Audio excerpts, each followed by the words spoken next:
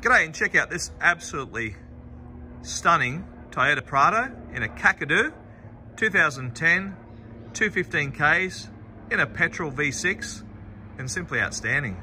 Graphite grey in colour, alloy wheels, good tyres, driving lights. The Kakadu have so much as standard. Sunroof, in a graphite graying colour, simply outstanding.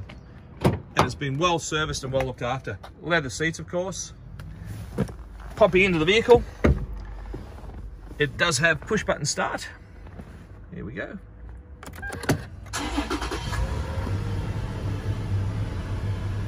Wood grain on the steering wheel. Does have satellite navigation, of course. Does have reverse camera climate controlled air conditioning, downhill descent assist, and being a Toyota, you've got heated seats. Leather is a absolutely high quality. A great electric sunroof that opens up all the way. Plenty of room for the whole tribe in the back drop down DVD for the children. What an amazing machine.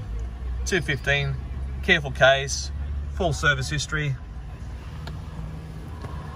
memory seats for the driver and um, that's a great uh, time-saving option. Outside, that stunning graphite grey. Plenty of room in the back. Got the uh, air conditioning controls for the rear passengers. Available here at Country Wholesale Group, cwg.net.au for this Toyota Prado Kakadu. Inside, the seats fold away, fold flat, so they don't take up any space, which is fantastic, but easily pop up. 15 Uralla Road in Port Macquarie, cwg.net.au.